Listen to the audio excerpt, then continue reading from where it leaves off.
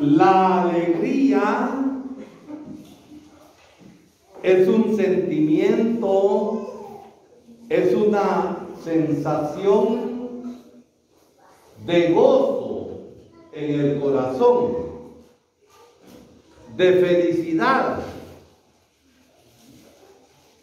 de paz, de bienestar. Y eso produce la alegría en el corazón. La palabra de Dios en esta fiesta de la visitación de María Santísima a su prima Isabel, con el que estamos coronando el mes de mayo, mes de María nuestra Madre, es un canto, es un canto de gozo, es un canto de alegría. Y la primera lectura del profeta Sofonías en el Antiguo Testamento canta la felicidad, canta la alegría, canta el júbilo e invita a que nosotros nos gocemos, nos regocijemos y estamos alegres de todo corazón. ¿Por qué? Porque el Señor nos ama y ha obrado para nuestro bien. Y nosotros que le creemos a Dios, que vivimos de la fe, reconocemos que Dios ha obrado siempre para nuestro bien.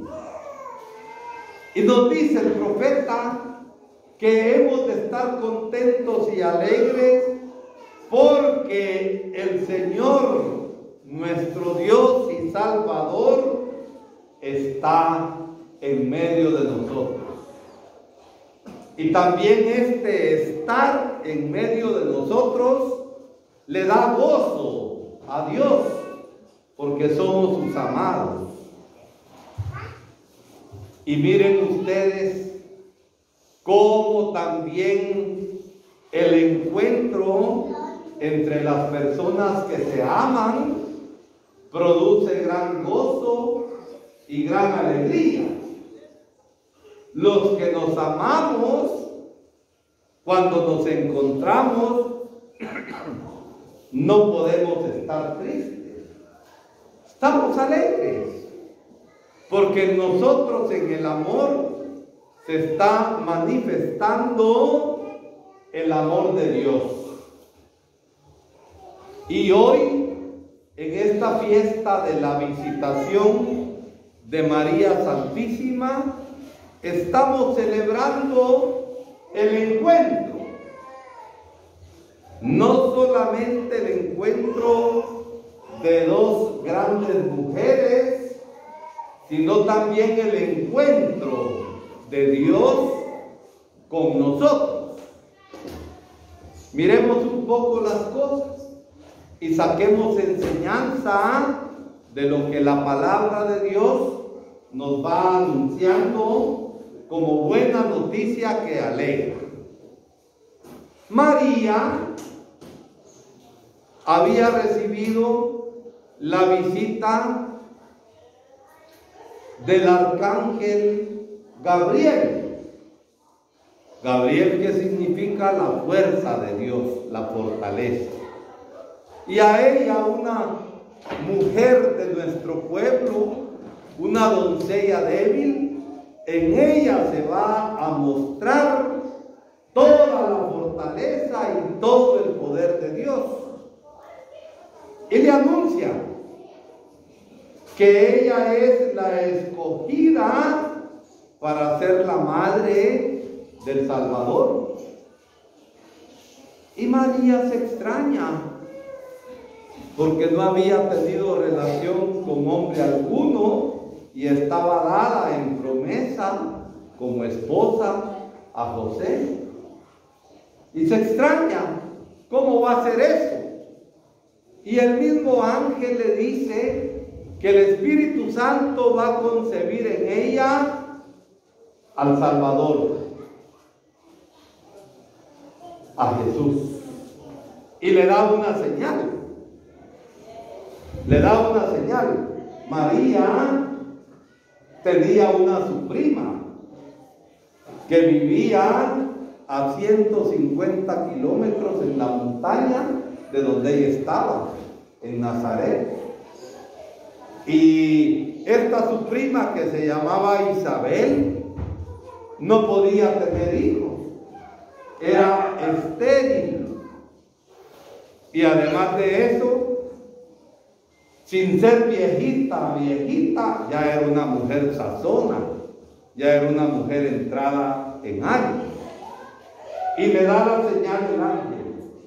¿Qué le dijo el ángel a María? Que ahí estaba quien, Isabel, su prima que ya llevaba cuánto tiempo de embarazada, seis meses, y ella no podía tener hijos. Y sin embargo, Dios hace la obra. Y María cuando ve claro cuál es la voluntad de Dios, entonces ella responde, he aquí la esclava, la sierva del Señor. ¿Y quién es el siervo de Dios o sierva de Dios?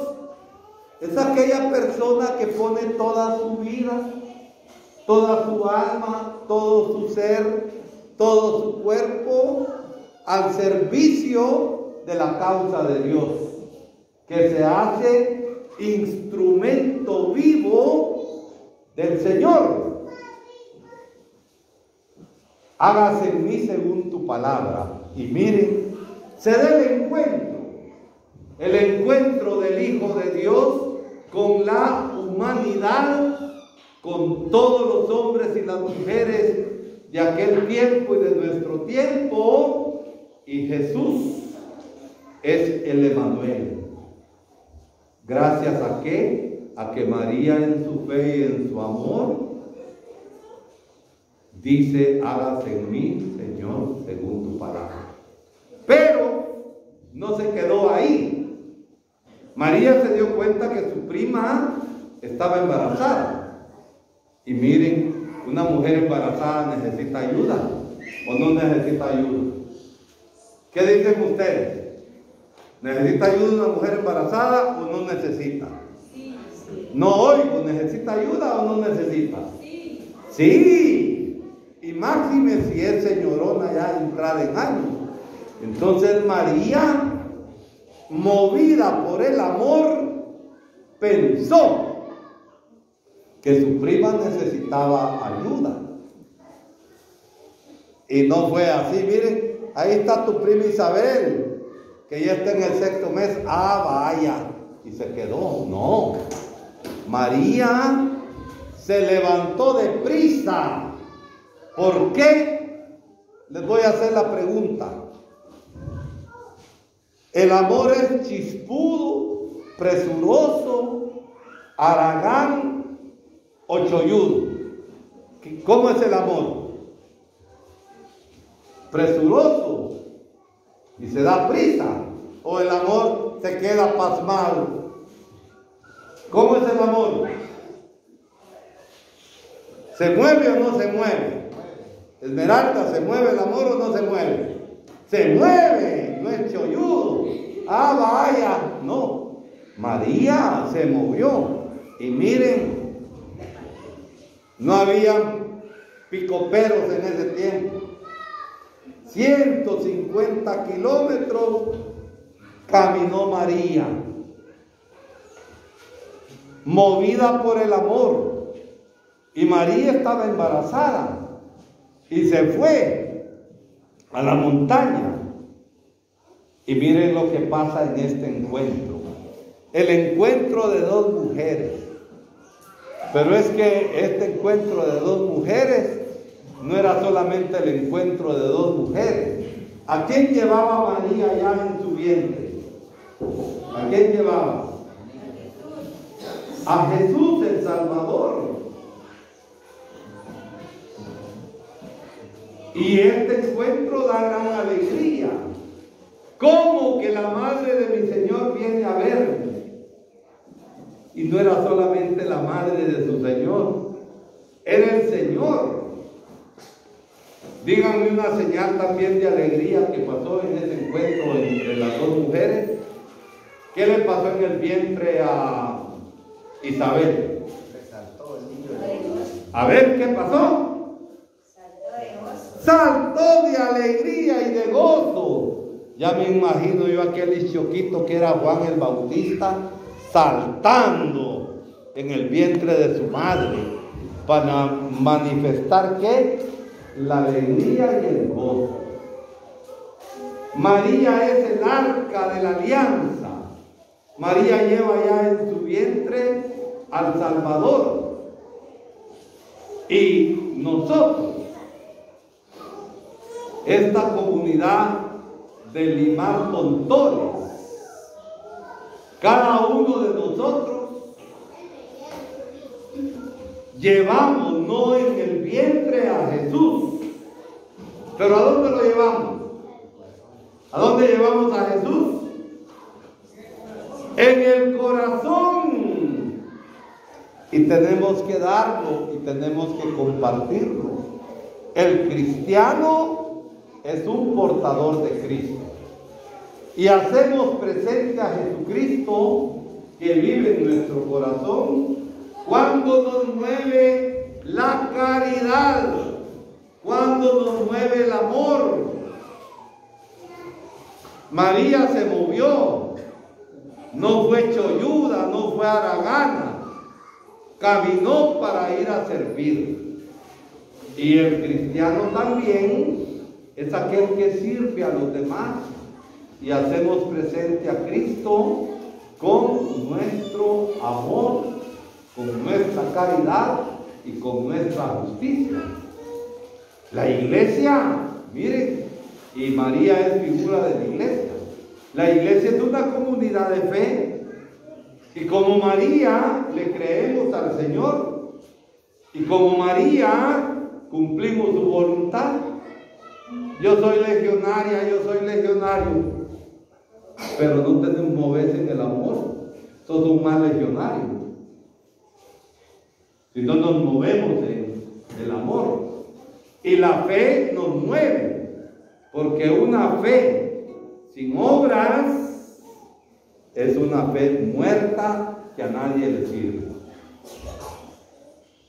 María es figura nuestra. María la de fe, la comunidad de Limar Tontol es una comunidad de fe que cumple y vive gozosamente la palabra. María, figura de la iglesia, juntamente con José y el niño nacido. María participaba de la vida de la comunidad en Nazaret. Y María con José y el niño iban también a la celebración de la palabra en la sinagoga, que era donde se reunían. También el cristiano, miembro de la comunidad, participa de la vida de la comunidad. Es una comunidad de fe y de culto que celebra el amor de Dios y que celebra la salvación. María, la mujer del amor, figura de la iglesia. Y la iglesia es una comunidad de amor. Y vive en el amor unidos entre sí, porque saben cuál es el pecado más grave y el escándalo mayor que podamos dar nosotros los de la comunidad aquí en Tontoles, limar Tontoles, es estar todos divididos. Aquí no se da, ¿verdad? Pero puede dar de que a veces hay varios catequistas y que no caminan de acuerdo.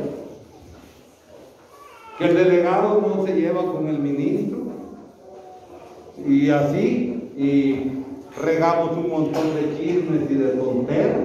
Esa es señal de que no somos la comunidad del Señor.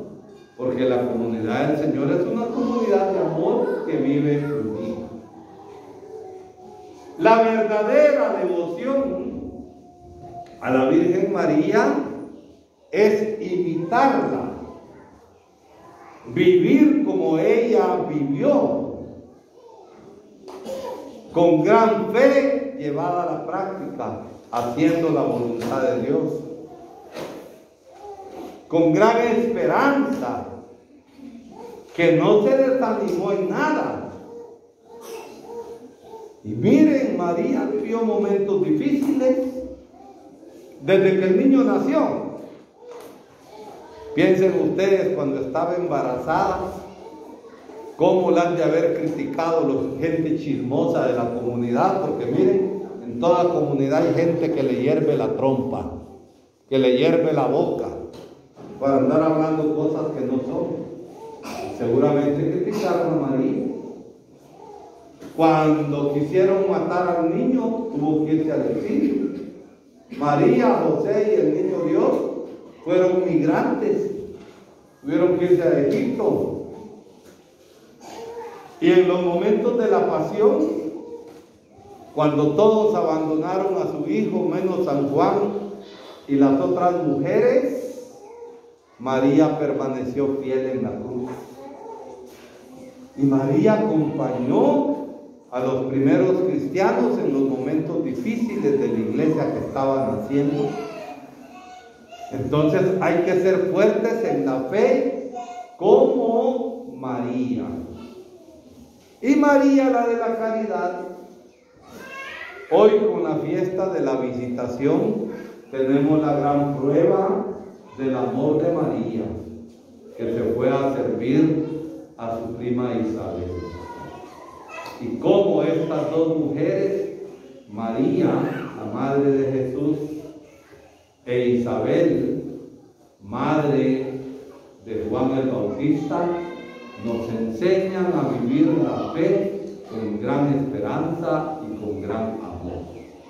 Así que esta fiesta que hoy estamos celebrando acá y agradeciendo a Dios todo su amor, nos vaya llevando a nosotros día a día a ser fieles y a ser fieles alegres, porque en nosotros se está cumpliendo la obra de Dios y como María podemos decir también cada uno de nosotros.